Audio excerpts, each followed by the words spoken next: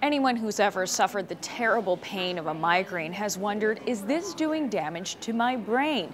The medical community has always said the answer is no. But now a new study finds that women who suffer migraines do have an increased number of lesions in their brains. This really changes the game in terms of thinking that migraine is an intermittent condition that does not leave any lasting trace.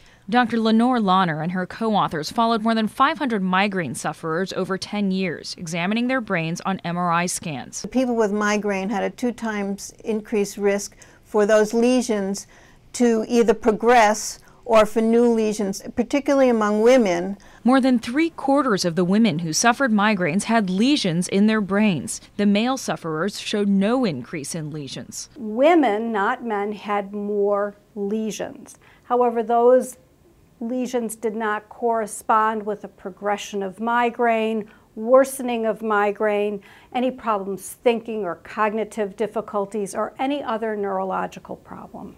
In other words, there are lesions, but they don't seem to cause any problems. So the bottom line advice to patients with migraines has not changed.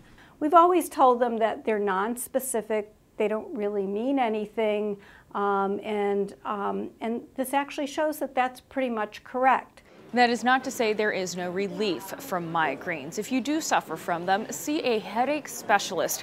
There are some powerful new drugs and treatments to deal with these debilitating headaches. With Everyday Health, I'm Stephanie Sy.